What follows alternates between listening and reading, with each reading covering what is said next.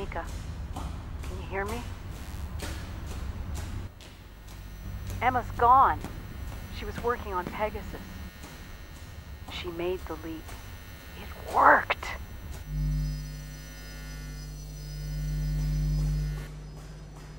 Pegasus is real.